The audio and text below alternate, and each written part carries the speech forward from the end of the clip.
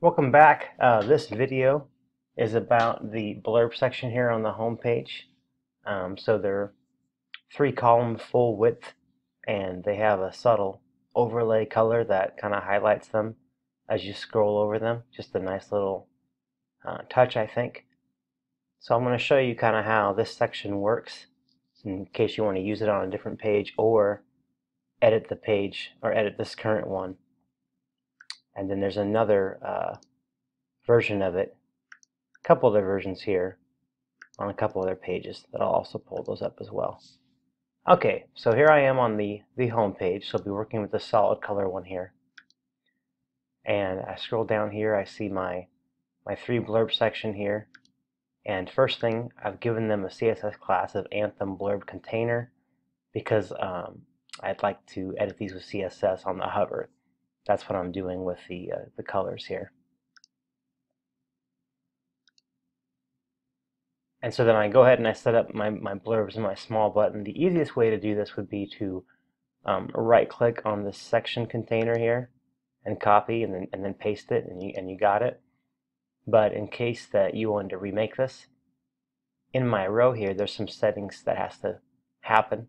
Make this row full width, yes. Uh, use custom gutter, yes, of of zero. Um, I just manually put that in.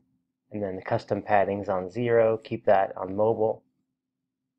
And then as we go into advanced design settings here, this is where you'll see where we start to, uh, we do equalize column heights and then the column one background. And I have some padding settings here for desktop, tablet, and mobile. And same thing down here on these ones. In the other examples, I'm using background images. So for example, in the black and white page, I'm using background images there. And in this video header, I'm using background images, but this these ones are static. They are, they are not parallax, where these ones, they are parallax, kind of a cool effect. And so that is where you would say um, column one background image and then use the parallax effect and for that one, I'm using true parallax for those. So, but for this, for the home page though, I'm setting my colors here.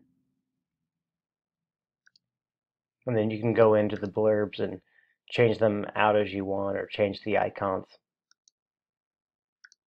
And then in my CSS file here, I scroll down to around line 357.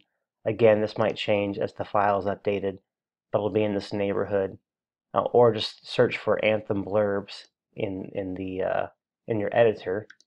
And here I see column one, and here's the color that I've chosen. Same with co uh, column two and column three. And let's see if I can get a color picker to come up here.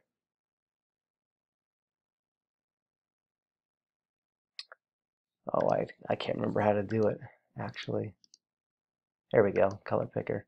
So that's kind of just this, this blue color there. Ha.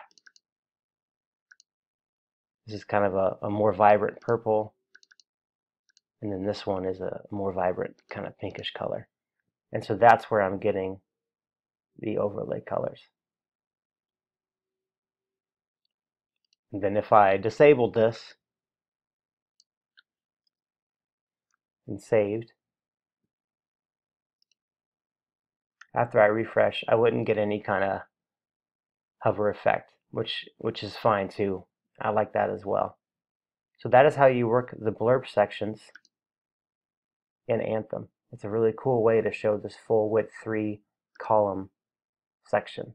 And I think with the right images, um, could really make those sections stand out. Thanks again, and we'll see you in the next video.